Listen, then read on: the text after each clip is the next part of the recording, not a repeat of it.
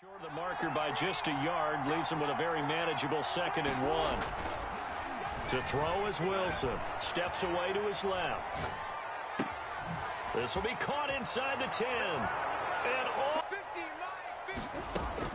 from the 40 now on second down. Murray, they'll set up the screen to Drake. And he is into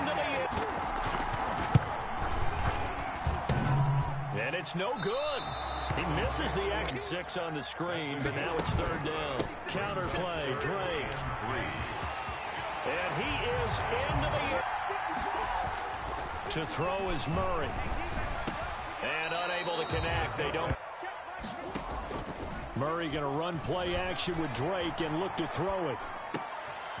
And look at this. They get the turnover they needed. It's intercepted. They come up on a first and goal with this game still open is Olsen. He's got it. Touchdown Seahawks. You see him scrambling down there. They're getting those defensive guys ready. Yes, you have to get those guys ready, and you also have to talk to your special teams guys. Make sure the kickoff is exactly what you want and come the middle of the field to draw some of the defenders away. They can't just let them guard the sideline exclusively. That's how it's going to work. Side he takes it across for the touchdown, and they've taken the this one because you and I, we're not going anywhere. We want to see this one play out.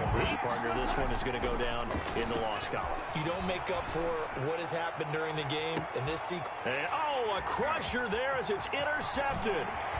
Picked off at the 45, the 30. To be physical. We've heard that a million times, right?